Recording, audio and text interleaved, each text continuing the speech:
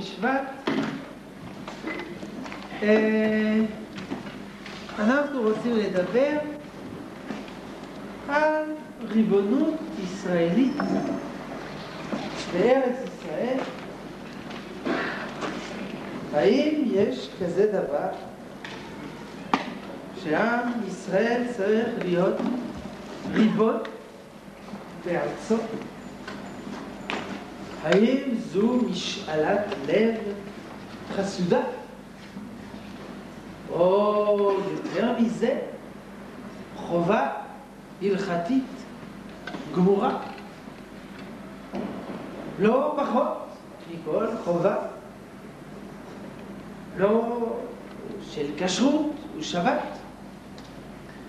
והחלשת הריבונות על ארץ ישראל כפי שהיא נעשית עכשיו, לצערי, זה לא פחות חמור מחזית, אולי עוד יותר. קודם, נתחיל בשלילה. ואחר כך נטפס ונעלה אל החיים. השלילה. הרואה ערי יהודה וחורבנם קורא. ככה בגמרא, בבא בתרא סמך, ונפסק בשולחן ערוך, ת' אורח חיים, תק"ס. אדם רואה עיר יהודה חריבה, הוא יבא, הוא קורע את בגדיו, ואומר פסוקים של אבינות. מה הפירוש ערי יהודה וחורבנם? שהבתים אינם בנויים היטב? לא. אומר רבי יוסף קרוב בספרו הגדול לבית יוסף, שהם תחת שלטון גוי. אפילו בנויות היטב. ולהפך, אפילו הכל מלא חורבות, זה תחת שלטון ישראל, זה לא נקרא חורבן. חורבן במובן של אחיזת ישראל. זה המקום הזה, כשהוא בידי גויים, הוא כמו מת. מת. אז הוא נמצא. טוב, גם המת, הגוף נמצא. אבל חסרה לו הנשמה, הלב, הפנים, רוח החיים. ולכן התגובה אינה יכולה להיות אחרת מאשר לקרוע. זו הוכחה שלילית א', הוכחה שלילית ב'. במסכת ראש השנה י"ח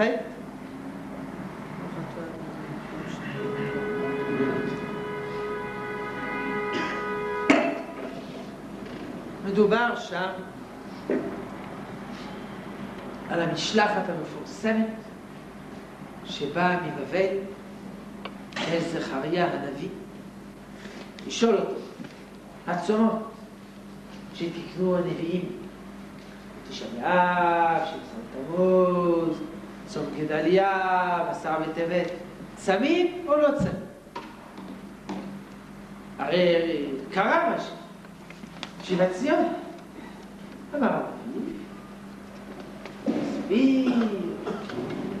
מרחב גדול, היסטורי, מה קרה, למה גלינו, למה חזרנו, ואומר, ברוך השם, הימים האלה, ימי הצום, ימי האבל, יהיו לימי שמחה וששון.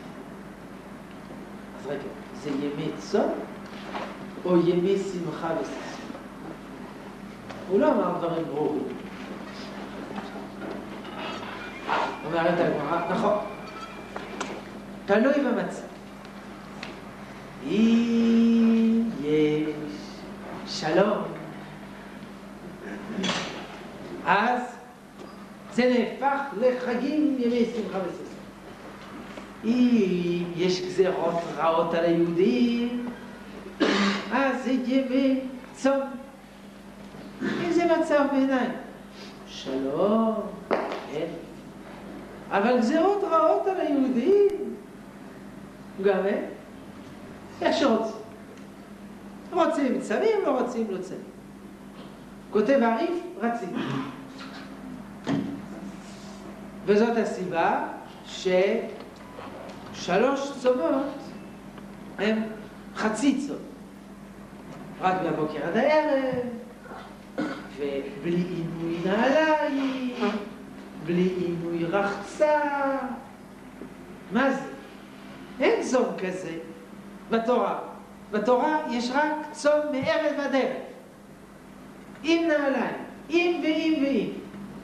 זה תלוי. אם אנחנו חייבים, אז אין מה להתחכם. אבל זה לא שאנחנו חייבים. אומרת הגמרא, תלוי אם רצינו. ורצינו, אז קיבלנו ככה. תשעה באב זה הכי חמור, מערב עד ערב עם חמישה עינויים. האחרים פחות חמורים, מחצי צום, מבוקר.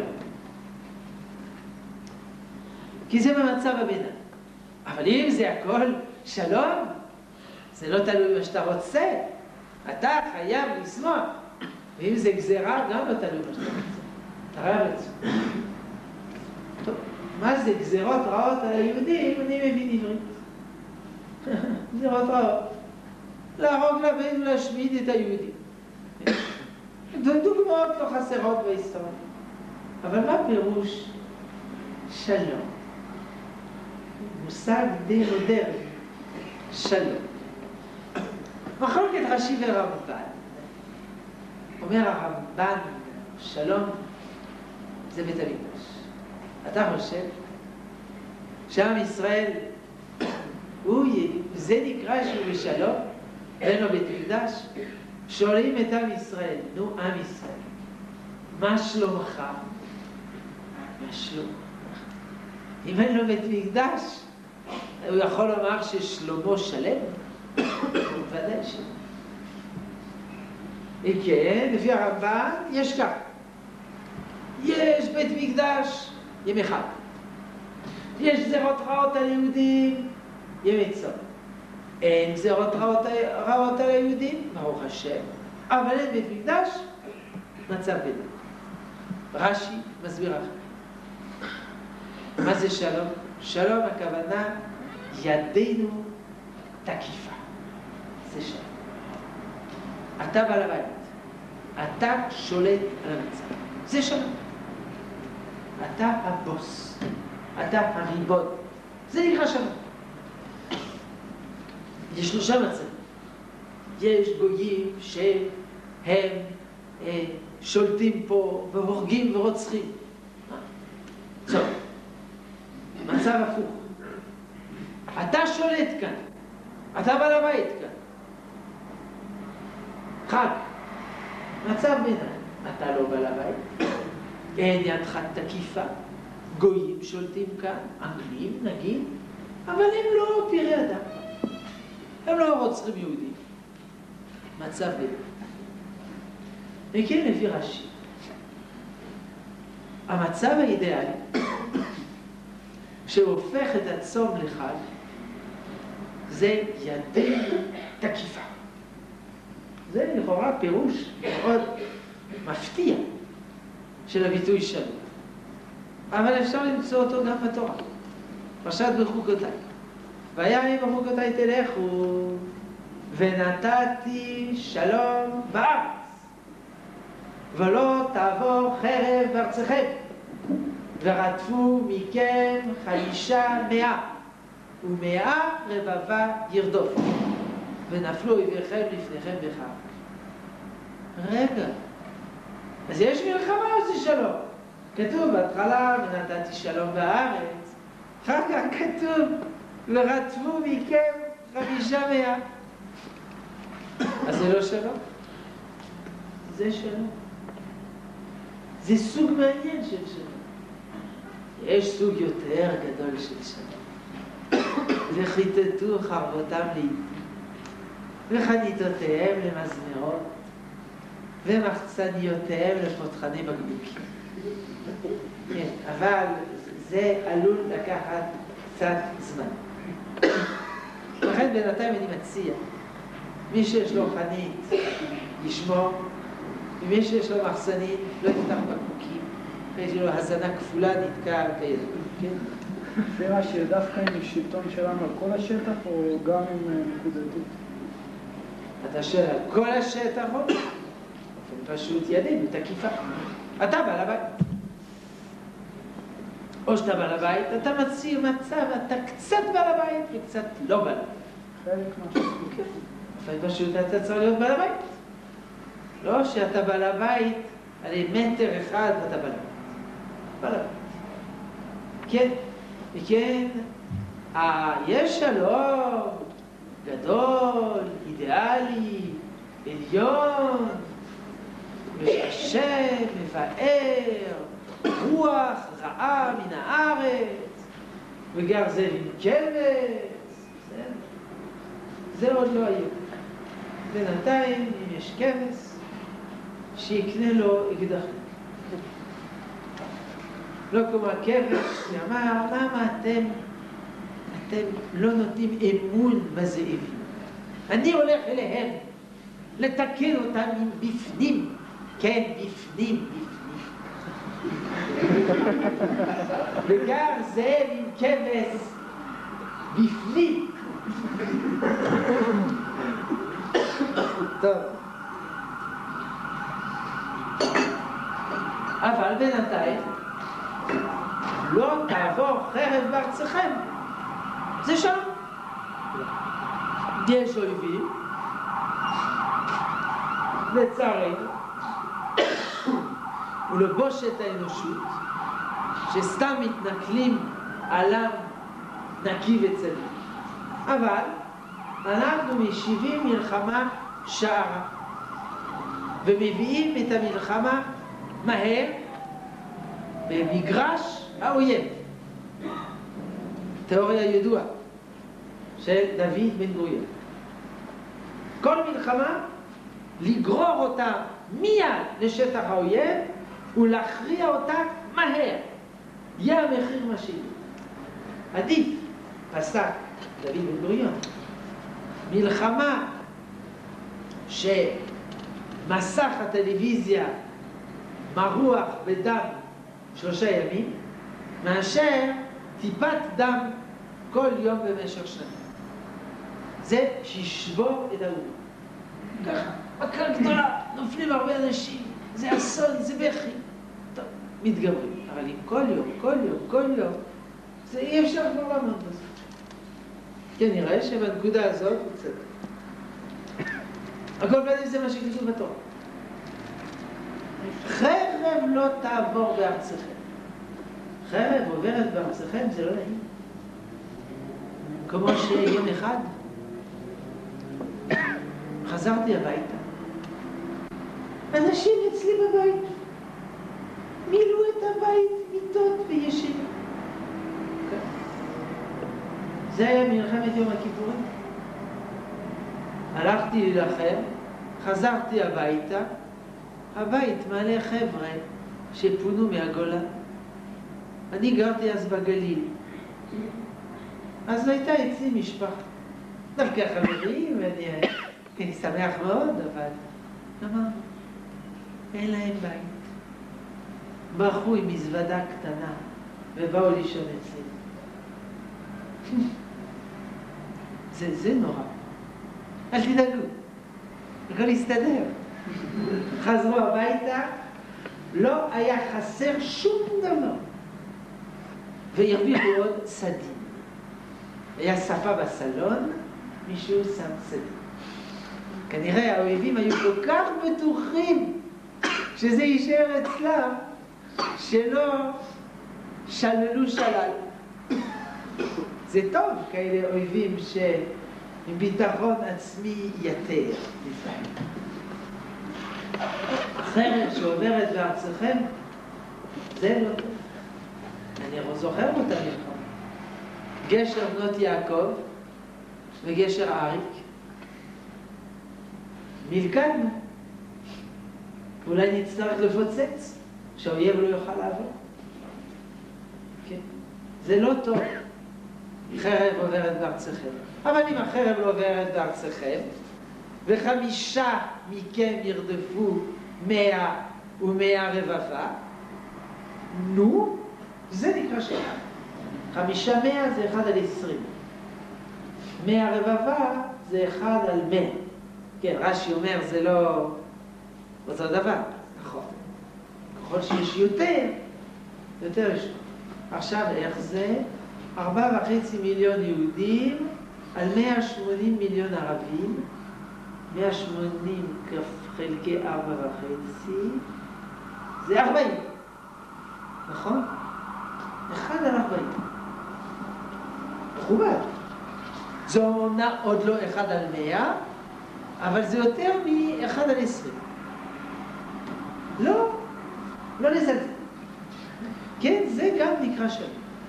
שלום הכוונה שאומר רש"י, אתה שולט על המצב. אתה בעל הבית. זה לא אומר שאין בלאגן ואין סיסה ואין טרוריסטים. אתה שולט על המצב.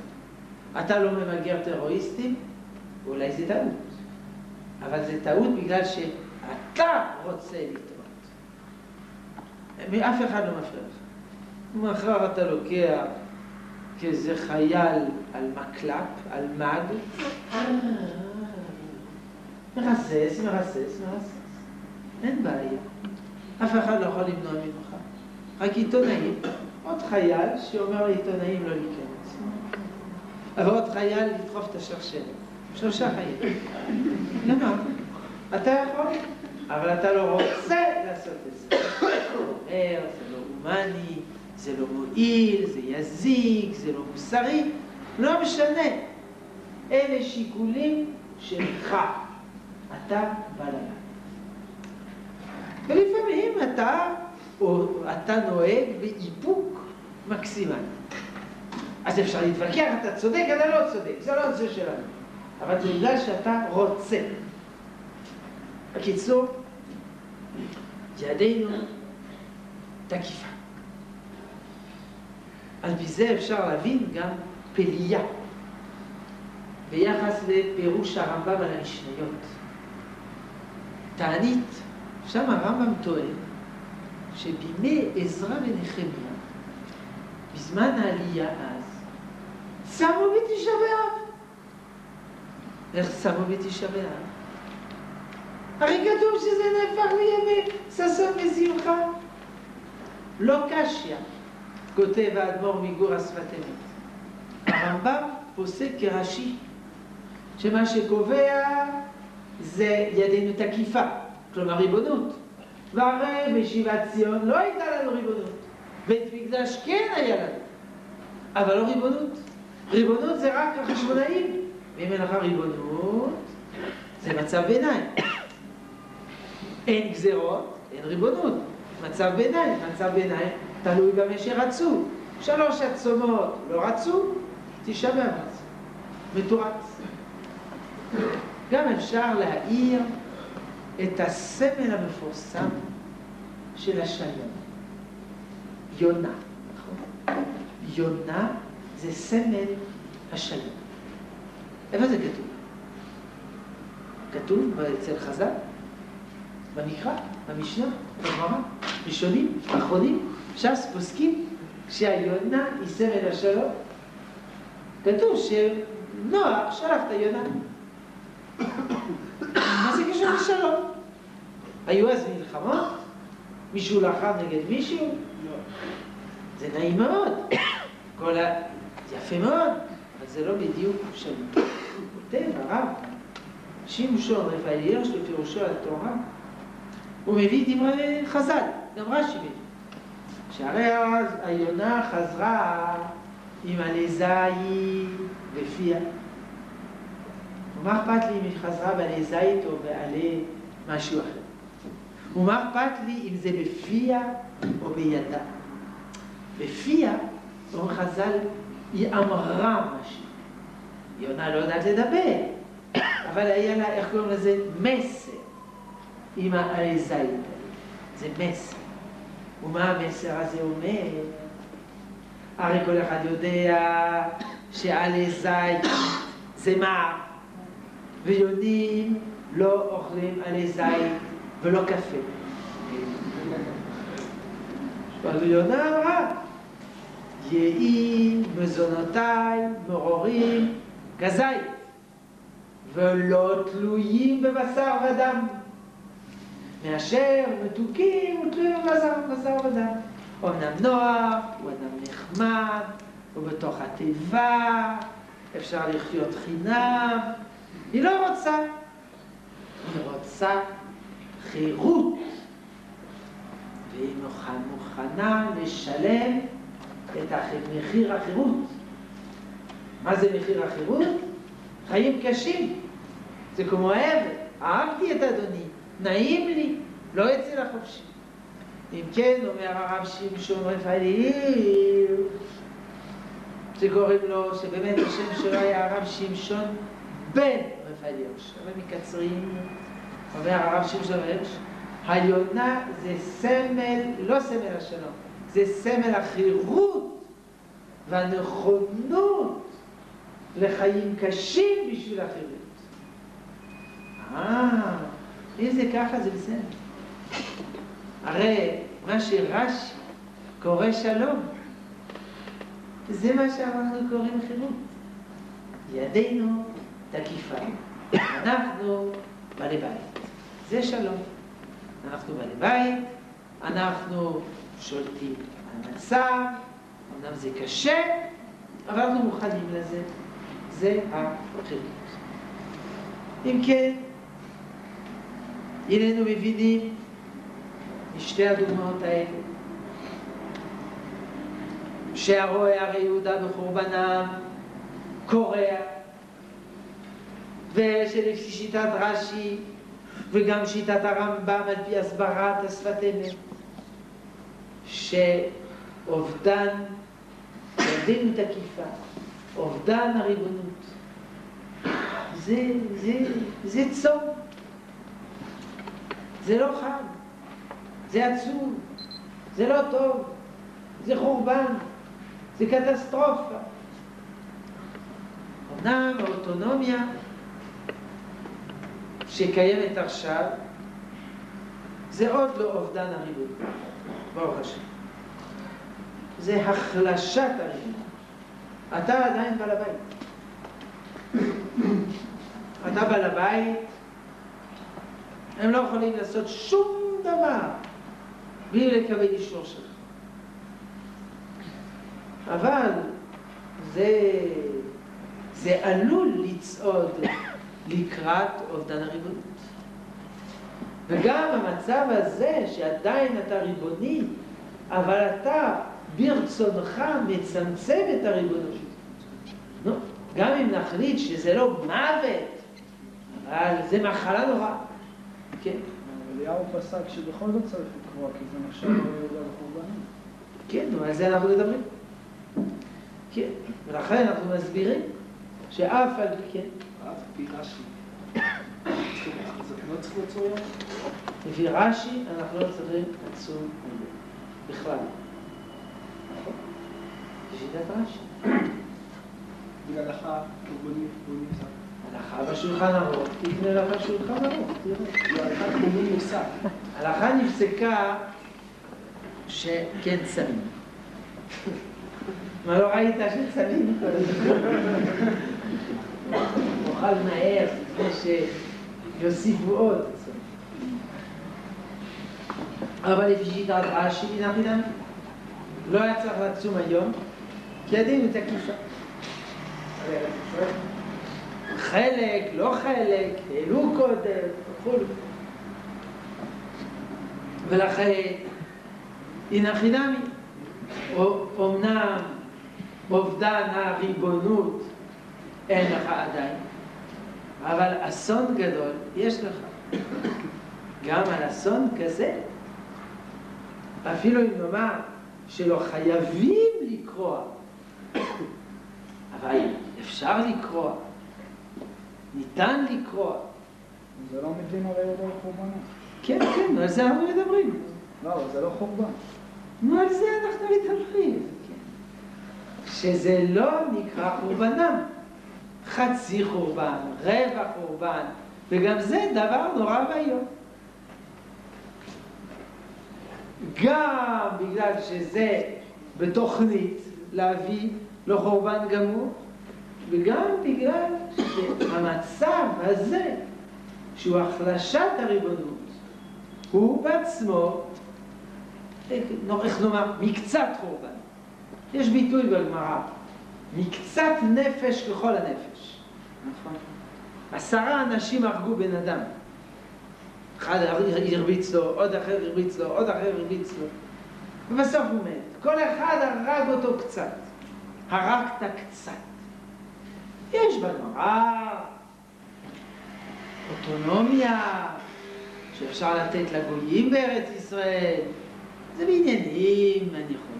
קופת צדקה שלהם, זה משהו אחר. אבל לא בהנהגת המדינה ובשלטון על המים, והחשמל, ועל האדמות, ועל הקרקעות, ועל הבנייה, ועל הכבישים, ועל המשטרה. זה ודאי, ועל המשפט, זה ודאי שלא. אלא קופת צדקה, למה לא? ואם אני רוצה עם עוד שלושה חבר'ה לעשות קופת צדקה, אסור לי? ואם אני רוצה לעשות קופת צדקה של חסידי קרלין סטולין, רק בשבילי, אין מניעה. אז קופת צדקה, וארגון ביקור חולים, זה עניינים אישיים פרטיים, אבל לא עניינים שנוגעים לכלל. ומכאן, מהשלילה אל החיוב. החיוב הוא כדברי הרמב"ן, המסכם הגדול של מצוות יישוב הארץ, והוספותיו לספר המצוות של הרמב"ם, מצוות עשה ד' נוספת, מצוות יישוב הארץ, ושם הוא כותב שמצוות יישוב הארץ מתחלקת לשלושה חלקים, ככל דבר חשוב. א', צריך לגור בארץ הזאת. לא באמריקה ולא באוסטרליה, אלא פה.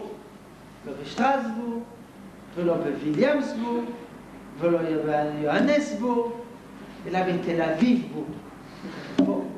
צריך לגור. כל יהודי חייב. ב' יישוב הארץ, ישיבת הארץ, יישוב הארץ. הארץ הזאת צריך לבנות, לבנות בתים ולנטוע כרמים בארץ הזאת. לא נעזביה לשממה. ג' לרשת את הארץ. שהארץ היא שלנו. שהארץ הזאת שייכת לעם הזה. לא נעזביה ביד זולתנו מן האומות. לא די שאתה יושב, לא די שאתה מיישב, אתה צריך לרשת, פעלות, ריבונות, לא מידי עם אחר. אתה יהודי פרטי לא חייב להיות בעל הבית על איזה שדה. לא ביד זולתנו מן האומות, שעם אחר לא יהיה בעל הבית על הארץ הזאת. ואומר הרמב"ן, זה מצווה בכל הדורות. שלוש פעמים הוא חוזר על זה. אל תחשוב בגלל הגלות, ואנחנו פטורים מזה. גם בגלות אנחנו חייבים.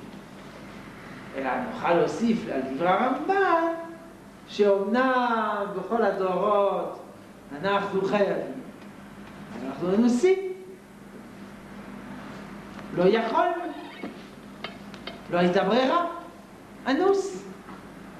חייבים, אבל אנוסים.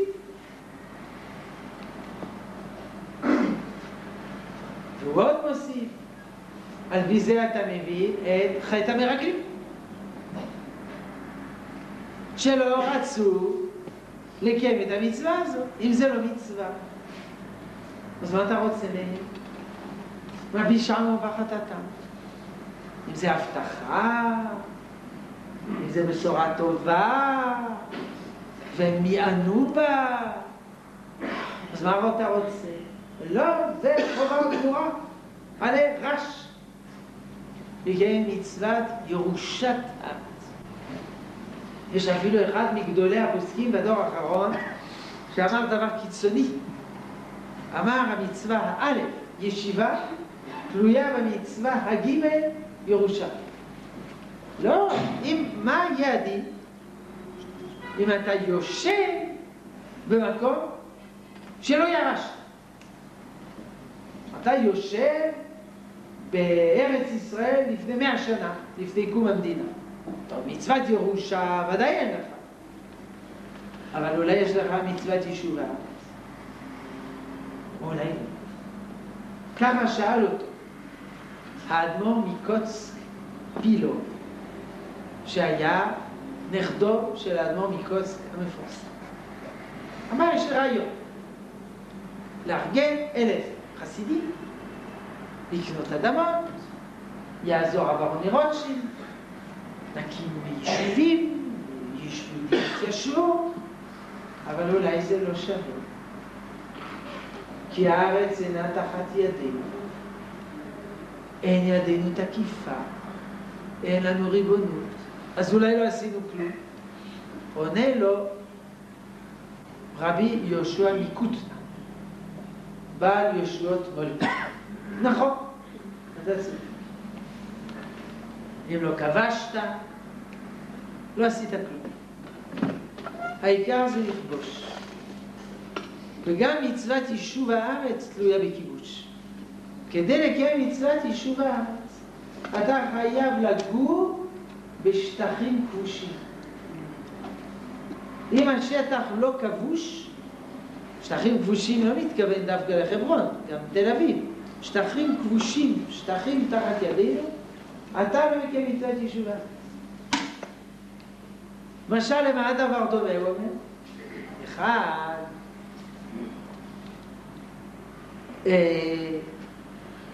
לקראת פסח. זרח איתה, קצר, חרש, קצר, לש, עפר, עשה מצה ולא אכל. אז העיקר חסר. כל הפעולות האלה, זה מה שהפוסקים מכנים הכשר מצווה. אבל המצווה זה לאכול. אז אחד גר בארץ, בנה את הארץ, אבל לא כבש. העיקר חסר מספר המציאות.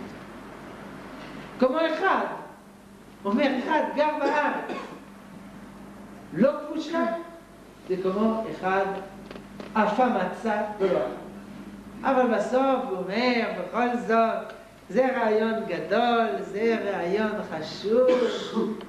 כי, כי, כי בזכות שיתיישבו ובסוף יכבשו ואשרי תמימי דרך זאת הדרך, זה חשוב מאוד, זה מצווה גדולה בקיבוץ גלויות, זה, זה הגאולה נכון זה חשוב מאוד אבל בעיקר הדין הוא חושב שאם אתה גר בתל אביב לפני מאה שנה או אתה גר היום בחבל ימים, אתה לא מקיים מצוות ישובה. זו דעתי אחרת. כמעט כל הפוסקים חולקים עליו, אומרים זה לא נכון. הרמב"ן היה פה, קיים מצוות יישוב הארץ. הוא לא קיים כיבוש, ירושה, אבל יישוב קיים. רק הבאנו את דעתו להסביר כמה הוא מקנה חשיבות. אבל על כל פנים, יש מצווה לרשת את הארץ. כן? והמצווה הזאת היא מצווה ששונה בתכלית מכל המצוות של התורה. שהיא נעשית על ידי מסירות נפש לכתחילה. אין שום מצווה בתורה שצריך מסירות נפש לכתחילה. כל מסירות נפש זה דיעבד. כלומר, דיעבד, אמרו לך עובדי עבודה זרה, עבודה עבודה זרה, הורגים אותך, ארגון. או תשפוך דמים, או תגלה עריות. אבל לכתחילה אל תיכנס למצב הזה. אל תבוא בין עובדי עבודה זרה ותגיד להם, הרגו לא אכפת לי מכם, אתה משוגע? וגם אם הם רוצים להרוג אותך, ברח! ברח דרך החלום, ברח. כמו שאומר הרמב"ם באיגרת קידוש השם ליהודים בצפון אפריקה, בגזירת האלמוהידים, ליהודים להתאסלם אם לא ימותו, וחלק מהיהודים התאסלמו, וחלק מה נהרגו, הוא אומר, אבל תברחו מפה, למה אתם נשארים? זה כמעט התאבדו, תברחו. אם כן, נכון, יש מצבים שאדם צריך למסור את הנפש על התורה, אבל הוא לא צריך לחפש את המצבים האלה, צריך לברוח מן המצבים האלה. המצווה, וזה שלוש מצוות מיוחדות שהגיעו עד ראש פורדה מעבודה זרה, ובשעת פרהסיה זה מתרחב, ובשעת הגזרה שרוך נעל, נו, אתם יודעים כל הגדרים האלה מסוכמים והרמב"ם הלכות מיסודי התורה פרק ויש רק מצווה אחת, שאדם לכתחילה נכנס למצב של מסירות נפש, וזו מצוות כיבוש הארץ. בגלל שחייל שהולך למלחמה, הוא יודע שזו מסירות נפש, שלפעמים חוטפים כדורים, כן. מסירות נפש זה אותו גדר כמו פיקוח נפש? כן, מסירות נפש זה פיקוח נפש. מסירות נפש הכוונה שאדם מסתכל. זה הכוונה, מסתכל. זה מסירות נפש זה בעצם ההפך של פיקוח נפש. פיקוח נפש דוחה מצוות. יש מצוות שדוחות פיקוח נפש. כמו עבודה זרה, שפיכות דמים. מסירות נפש, נו, מילה פשוטה, מסתכל. חייל מסתכל. והוא יודע שהוא מסתכל, והוא הולך להיות חייל. כמובן, האידיאל זה להרוג בלי להרג. להרוג. אבל זה קורה שנהרגים. זה מסוכן. והוא נכנס לזה לכתחילה. ולא אומרים חבל על מלחמת השחרור. חבר'ה, חבל, נו.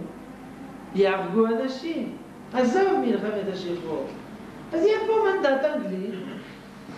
אנגלים לא רעים, מי יודע מה. נתחנן, נבקש מהאנגלים להישאר, האנגלים יישארו, יהיה פה שלטון אנגלי, ולא יהיה, ולא יהיה שלטון יהודי, ונחסוך במלחמת השחרור. עלולים להרג הרבה אנשים. נהרגו כמה אלפים מלחמת השחרור. זה נס. יכלו להיהרג יותר. אבל נכנסו לכתחילה במסירות נפש. אפילו לפני מלחמת השחרור, יהודים נכנסו במסירות נפש לגור בארץ. היה מסוכן פה. היו מקומות מסוכנים, מקומות לא מסוכנים, אבל היו מקומות מסוכנים. מסוכנים מחלות, ומסוכנים מאויבים, מסוכנים משודדים, ומפדאיון, ומרוצחים, מסוכן. כלומר, הפסק הזה של הרמב"ן שעל כיבוש הארץ, כלומר ירושת הארץ, נכנסים למלחמה ולמסירות נפש, זה לא רק פסק בספר, זה פסק בחיים של עם ישראל. זה פסק של העם, של הדתיים, של החילוניים, של הציונים, של החרדים. פתח תקווה הקימו חרדים. חרדים קיצוניים, המכונים קנואים, תלמידי החתם סופר. בבוקר לך בשנת תרל"ח, יואל מוישה סולומון, אין ציפורים, יש ציפורים. כן, זה חרדים, מסרו את הנפש. והשכונות מחוץ לחומת ירושלים זה חרדים. והרבה מקומות מסרו את הנפש. כדי שיהיה עוד מקום יהודי, עוד מקום יהודי. כל היהודים הדתיים פעם היו חרדים. לא היו יהודים ציונים דתיים. בקושי היו ציונים, לא דתיים. בכלל היו גם ציונים לא דתיים, רק היו ציונים דתיים. אז בזמן הרב קוק, כמעט כל היהודים הדתיים היו חרדים. לא היו כאלה כמו עכשיו, המכונים כיפות סרוגות. גם הוא היה חרדי, כולם היו חרדים באותה תקופה. אז התחיל המזרחי להתנוצץ קצת. טוב, אז מסרו את הנפש. זה לא פסק תיאורטי, זה פסק של עם. זאת המצווה היחידה בכל התורה, שלכתחילה נכנסים למצב הזה. ואם המצב הזה קורה, ודאי לא בורחים. כמו שאומר הרמב"ם, לברוח מצפון אפריקה. הוא לא אומר לברוח מפה, פה לא בורחים. פה נאחזים ונלחמים. למה? למה המצווה הזאת היא מצווה של מסירות נפש? לכתחילה. כי זה חיי העם. כך אומר המהר"ל בתחילת ספרו נצח ישראל, שבדיוק מדבר על זה. מה זה, נצח, מה זה עם ישראל? ועם ישראל יכול להיות מצב בריא, יכול להיות מצב חולה. טבעי, לא טבעי. מצב טבעי של כל עם, כולל עם ישראל. עם ישראל הוא לא פחות מכל עם. הוא כמו כל עם ויותר מכל עם. עם צריך להיות בבית, יחד ועצמאי. זה מצב טבעי. אבל אם העם הוא מפוזר, חסר עצמאות, הוא מחוץ לארצו, הוא לא טבעי, הוא חולק, הוא גלותי. גם אדם פרטי צריך להיות בבית שלו. וגם הוא צריך להיות עצמאי. כשגונבים מאדם את העצמאות שלו, מצמצמים את צלם אלוקים שלו, חונקים צלם. קל וחומר שעם צריך להיות עצמאי. עצמאי לעשות מה שהוא רוצה. לא אחרים יחליטו בשבילו. לא טורקים ולא אנגלים. אנחנו נחליט. אנחנו נחליט טוב או לא טוב. לפעמים אנחנו מחליטים לא טוב. מתי לפעמים? רשום במערכת. אבל אנחנו מחליטים. לא הטורקים יחליטו בשבילנו אם יהודים יעלו לארץ או לא יעלו לארץ. או האנגלים יחליטו בשבילנו. אנחנו מחליטים. ולא האנגלים יחליטו אם זה יהיה ארץ ישראל או זה יהיה משהו אחר. אנחנו מחליטים. כמובן, כשמחליטים, זה טבעי. מחליטים טוב או לא. אבל אם אתה לא מחליט, אתה לא עם חי, אתה עם חולה, אומר המהר"ל. אתה עם לא בריא, אתה עם לא טבעי. זה הפלא הגדול. שאלפיים שנה היינו עם לא טבעי, והחזקנו מעמד. עם אחר, באותו מצב, כבר היה נעלם מזמן מבמותי ההיסטוריה. עם אחר. מזמן היה מת. עם אחר. אבל אנחנו עצמות יבשות, נכון, אבל העצמות היבשות האלה, יש רוח, והרוח תחיה בהם. לכן, ה... ה... אנחנו מבינים למה צריך על זה מסירות. צריך מסירות כדי לחיות. אדם מסכן את החיים שלו כדי להיות חי. מסכן את החיים כדי להישאר חי. זה הדבר היחיד שמישהו לא מסכן החיים. גם לגבי רמת הפרט זה ככה. המהר"ל מסביר. למה גילוי עריות שפיכות דמים עבודה זרה זה ליריב ועל יעבור? כי אם עשית אחת מהעבירות האלה, אתה אדם מת, אתה אדם מת. אולי אתה מתהלך עם גוף, אבל בפנים אתה אדם מת. אז יותר טוב כבר שתהיה מת וצדיק. אותו דבר. אדם, עם בלי עצמאות, עם בלי עצמאות זה עם מת. ובשביל העצמאות הוא מוכן לסכן הרבה. אפילו לסכן הכל. זה רק קרה במלחמת העצמאות.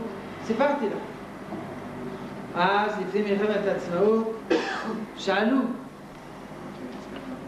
ראשי היישוב, הוועד הלאומי, את מנהיגי ההגנה. תעשו חשבון כמה חיילים, כמה רובים. תעשו חשבון כמה אויבים, אויבים בפנים, אויבים בחוץ, כי אין ספק שכל הערבים יתקפו. אנחנו מסוגלים לעמוד או לא מסוגלים לעמוד? ענו ראשי הגנה, במקרה הטוב ביותר, 50 יש פחות מ-50 סיכויים לנצח. 50 סיכויים מנצחים, יש מדינה יהודית, 50 סיכויים, כל היישוב נמחק, הכל הלך. התווכחו בוועד הלאומי. ארבע, תשע אנשים. ארבע אמרו, די, נוותר על העסק.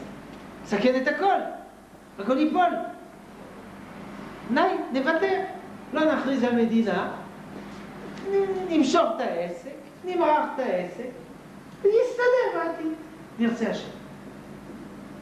וחלק אמרו, לא, הזדמנות בלתי חוזרת. אם עכשיו אנחנו לא מכריזים על מדינה, מי יודע מתי יהיה. הוכרע בחודו של כל. אחד, זה הרב מים, נכון? שהוא הנציג של מזרח, שלא היה בתל אביב, כי הוא היה בירושלים בנצורה. מלחמת השחרור התחילה, התחילה הרבה זמן לפני ה' באייר. היא התחילה כמה חודשים לפני כן, אבל זה היה רק הערבים המקומיים. אחר כך, ואחרי מלחמת הכרזת המדינה, פלשו מכל המדינות ישראל. והוא היה התשיעי, והוא הכריע שכן. בן גוריון שלח לדיון. כן? או, זהו בדיוק מה שהוא אומר. התאבדות של העם אסור. יש מצווה לסדר ריבונות. אין מצווה להתאבד. כל פעולה צבאית שאנחנו עושים, אנחנו תמיד שוקלים, יש סיכוי להצליח, אין סיכוי להצליח. אם אין סיכוי להצליח, אנחנו לא עושים. אין לנו שום אידיאל, אין לנו שום אידיאל למות בקרב, וזה כבוד למות בקרב. לא. אתה לוחם בקרב רק אם יש סיכוי לנצח. אם אין סיכוי, אין בזה תועלת. תרים ממחרתה לבנה, תלך להיות שבוי וגמר. אמנם לא נעים להיות שבוי, יותר מכובד ליפול בקרב, אבל זה שטויות. אין מצווה להתאבד. רק יוצאים למלחמה אם יש סיכוי לנצח. אבל האם לא ניתן להגיד על... היה צריך לגמור לענות. וזה בדיוק מה ששקלו. שאלו את ההגנה, יש סיכוי לנצח או אין סיכוי? אמרו, יש סיכוי. זה לא סיכוי גבוה, אבל יש סיכוי.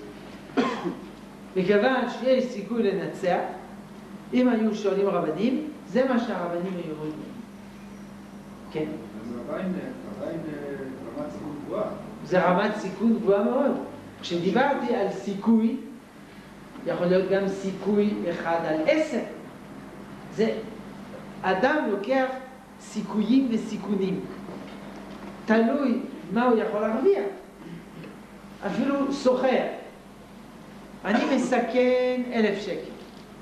אבל אם אני אצליח בעסק, ארוויח מאה אלף שקל. ומה הסיכוי שתרוויח מאה אלף שקל? אחד על עשר. אז הוא ילך לזה. זאת אומרת, לכאורה צריך לקחת סיכוי של מאה אחוז. ככל שמה שאתה יכול להרוויח הוא גדול, יותר אתה מוכן להסתכל. או מה שיכולת להרוויח זה מדינת ישראל, זה ריבונות על ארץ ישראל, זה דבר כל כך גדול שבשביל זה לוקחים סיכוי גבוה. הרב גומר, זה הרב ראשי לצה"ל, הוא כותב בתשובות שלו, שאין שום הגדרה בסיכוי. גם על סיכוי נמוך הולכים, אבל בתנאי שיש סיכוי להתאבד, אין לזה שום תועלת. זה מה שאמר רבן יוחנן מזכה לאנשים. מה אתם רוצים לצאת למלחמה נגד הרומאים מירושלים הנצורה? הסיכוי הוא אפס, מינוס אפס. אין, אין, אין, לא תצליחו. לכן צריך להיכנע. אבל הוא אומר, גם אם יש סיכוי, הוא לא אומר סיכוי 40 אחוז או 50 אחוז, סיכוי. כל שיהיה מלחמת בר כוכבא, אנחנו לא יודעים מה היה הסיכוי. יכול להיות שהסיכוי היה נמוך מאוד. הנה, רבי עקיבא קרא. בבקשה. אני שאלה, כי רציתי להיות... לא, מה שעניתי, עניתי. אבל אני רוצה אז... שאלה חדשה. אבל יש שני דברים. למשל במסעדה, יש כן מלחמות שבהן אתה לא הולך להרוויח שום דבר, אבל אתה, אתה נלחם על מחיר החיים, כן. לא על החיים עצמם. תראה, מצדה זה שנוי במחלוקת. מצדה לא כתוב ששאלו רבנים. מצדה הרב גורן אומר שהם צדקו, והרב נריה אמרו שלא צדקו. הרב גורן אמר שבזה שהם אה, מתו בצורה הזאת, הם רוממו את המורל של עם. והם היו שבויים ומסכנים וזה, היו משפילים את המורל של עם ישראל, שוברים את כוח הלחימה של עם ישראל ומסכנים נפשות לרוב. והרב נרי אומר לו נכון, היו צריכים להיכנס. וגמרנו. מה זה טוב? ויש גם דעה שלישית, שכל הסיפור הזה לא היה ולא. כי אין לזה שום מסמך היסטורי, חוץ מיוסף בן מתתיהו, שמספר שהוא שמע את זה מאישה אחת, שהיא גם הייתה שם ולא נהרגה וסיפרה את הסיפור הזה. אז הם אומרים, זה רק יוסף בן מתתיהו, בשם עד אחד מספר סיפור מופלא כזה. כמובן זה לא משנה כלום. השאלה העקרונית היא תמיד נשארת. מרד גטו ורשה, זה קרה. גטו ורשה, הם באמת אה, נפלו בקרב, ידעו שאין שום סיכוי לנצח. והם אמרו, ממילא נהרג. אז אנחנו לא לוחמים כדי להציל את החיים. אנחנו לוחמים כדי להחליט איך למות. היה שם גדול אחד, אחד מגדולי הדור, הרב מנחם זנטה. הוא אמר, הרי הגרמנים רוצים להרוג אותך. זה גזירה להרוג אותך. אם כן, אסור לך להיכנע לגזירה. זה ליהרג וליעבור. תהרג ואל תיתן להם להרוג אותך. פלפול דק, הבנתם? הגרמנים רוצים להרוג אותך כצאן לטבח יובל. אתה צריך להילחם בכל האמצעים ולמנוע מהם להרוג אותך כצאן לטבח, אפילו אם במאבק הזה אתה מת וזה בטוח שאתה מת. אבל זה נושא אחר. אז אנחנו לא נביא את הסיפור של מצדה, שהוא שנוי במחלוקת, וגם הרב אה, לא יודעים אם זה ככה או לא, וגם הרב גורן שמצדיק זה מצד אחר. שזה היה שובר את המורל הלאומי ו... וגורם למפלה כוללת. כי באותה תקופה לא כתוב שהיו שם רבנים, ומצאת שפסקו גם. טוב, אבל יש רב עכשיו, זה לא משנה, אז רב גורן עכשיו. זה דומה לחזקיהו, לצדקיהו המלך, שהביאו אותו, זה חזר, ניקרו לו את העיניים, נבוכדנצר, קשרו אותו עם שלשלאות והביאו אותו ככה לבבל. אומרים חז"ל, הוא איבד את השכל. היה צריך בתא שלו לדפוק את הראש אל הקיר עד שימות, ולא לתת לבבלים את המעמד המושפל הזה, שמלך ישראל, ניקחו לו את העיניים והוא עם שלשלות ומובילים אותו לשם. זה כבר חז"ל אומרים. למה? כי זה, זה ישבור את כל האומה. ולעומת זה, שאול, שלחם עד הרגע האחרון, ומת בקרב, והוא ידע שהוא ימות בקרב, אבל הוא לחם. אז לפעמים מיתת הלוחמים הגדולים, זה מפיח רוח גבורה בעם. אבל זה נושא אחר, אנחנו לא מדברים פה על התאבדות. במיוחד בימינו. בימינו זה לא כמו מלחמת השחרור. בימינו הסיכוי לנצח, אם יש מלחמה עם הגויים, הוא בערך מאה אחוז. מאה גם אם כל ארצות ערב, כולם ביחד, באות נגדנו, הסיכוי לנצח הוא מאה אחוז. כמבואר בניוזוק. כי פה הכל סודי. אז מדי פעם זה בניוזוויק, אז מביאים את זה לכאן. נבדק על ידי מכונים האסטרטגיים בעולם. עכשיו הסיכוי לנצח הוא מאה אחוז. אלא אנחנו לא רוצים מלחמות. אנחנו לא רוצים שיפלו אנשים. אנחנו לא רוצים אפילו שיפול אדם אחד. אבל עכשיו אין בכלל מציאות כזאת.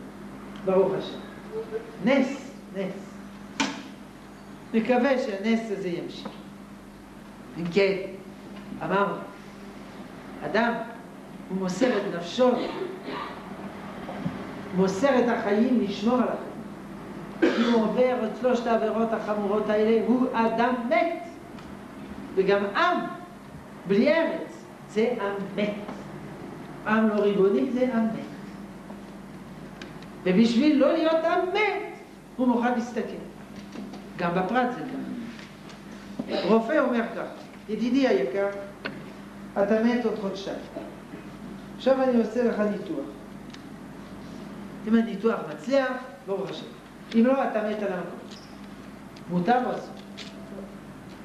אז זה, אמרו הפוסקים האחרונים, מותר. הוכחה מגמר. האם מותר ללכת לרופא גוי? אולי הוא יציל אותך, אולי הוא רוצח. ואי אפשר לדעת. הוא ינצל את המעמד הזה להרוג אותך. מותר. והגמרא לומדת את זה מפסוק. ארבע מצורעים. אמרו נלך למחנה האויב, ממילא אין פה מה לאכול, אם נשארים פה מתים מרעב, נלך שם. אולי יהרגו אותנו, אולי יחיונו, נלך. בסוף הלכו, ראו שכל האויב ברב, והביאו ישוע גדול. זה היה החשבון בקום המדינה. עכשיו ברוך השם, אין לנו חשבונות כאלה, וגם אף אחד לא מדבר לבטל את הריבונות הישראלית מכל ארץ ישראל. אבל מי חי? גם זה אסור. אדם שהורגים לו יד, הורגים לו רגל, הורגים לו ריאות, גם הוא קצת מת. אדם נכה, הוא גם קצת אדם מת. על זה אין ויכוח ואין דיון, אבל גם חלק, שליש, לא יודע, זה גם דבר נורא ואיום. מוות חלק. עבר שהוא מתנוון ומת. וכפי שאמרנו, נגד זה. מוכנים למסירות נפש. מוכנים למסור חיים בשביל החיים. זה כל התורה כולה. משה רבינו, אחרי אה, מעמד הר סיני, בהתחלת ספר דברים, מספר פועל משה באר את התורה הזאת. משה רבינו נתן פירוש על התורה. נכון, יש הרבה פירושים על התורה. פירוש רש"י, פירוש רמב"ן, יש פירוש משה רבינו. זה הפירוש. פירוש מאושר על ידי ריבונו של עולם. נו, נשמע פירוש משה רבינו. פנו וסעו לכם, ובואו, הר היורי, וכל שכניו, בערבה, בהר ובשפלה, ובנגב ובחוף הים, ארץ הכנעני והלבנון, עד הנהר הגדול, נהר פרת. פירוש מעניין. עכשיו יש פירוש, ציצית תעשה ככה, כשרות תעשה ככה. לא, זה הפירוש. התורה הזאת, היא מתפרשת פה, היא מתבהרת פה. ולכן תתחילו לזוז, אמנם מאחוריהם, רב לכם הזה, ההר הזה הוא חשוב מאוד, קיבלנו בו, בו, בו תורה, אבל תתחילו לנוע. ראה, נתתי לפניכם את הארץ. בואו ורשו. רשו. הארץ. פקודה.